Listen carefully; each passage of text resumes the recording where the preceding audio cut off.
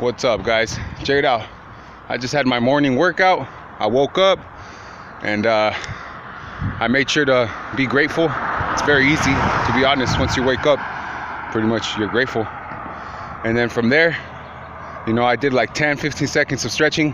I mean, I'm sure it's beneficial to do more or less. One thing I want to mention real quick there's so much information on the internet, for example, and there's so many ways that people advise you or suggest for you to diet or to exercise or to live your life, etc.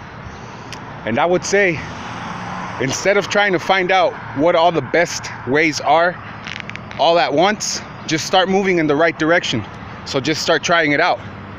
You know, so I'm still learning. Obviously, I think everybody always is until we die. But with that, well, I mean, with that being said, there's all kinds of information going around, all kinds of suggestions. There's also all kinds of, you know, professional, experienced athletes, people who have done this before, and everybody is suggesting, and everybody is doing different routines. Some are, you know, there's big groups doing one routine, big groups doing another routine, different diets, different exercises, etc. I, I encourage that you just start making uh, direct moves in the right direction you know, start introducing yourself to exercise, start introducing yourself to uh, health foods, etc. Don't try to change it overnight. Don't try to make like incredible dramatic changes overnight unless you feel like doing that for just a challenge. But if not, it's not necessary. But definitely start introducing yourself to these uh, changes, in my opinion. And whether you decide to exercise five minutes in the morning, two times a week, or 30 minutes, five times a week, or whatever you decide, you know, you start filling it out what you like what inspires you what what drives you what you what you feel like doing and take it from there.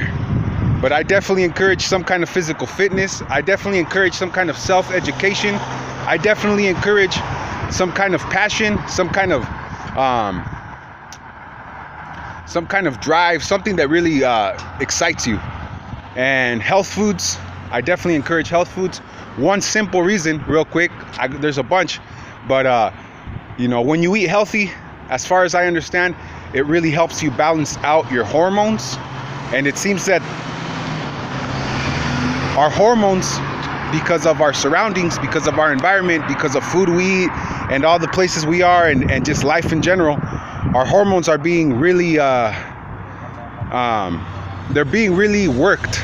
They're really being uh, challenged. So, you know, hormones are gonna what are going to be what's keeping you in a good mood, even with your energy and so on and so forth. So that's just one reason to eat healthy.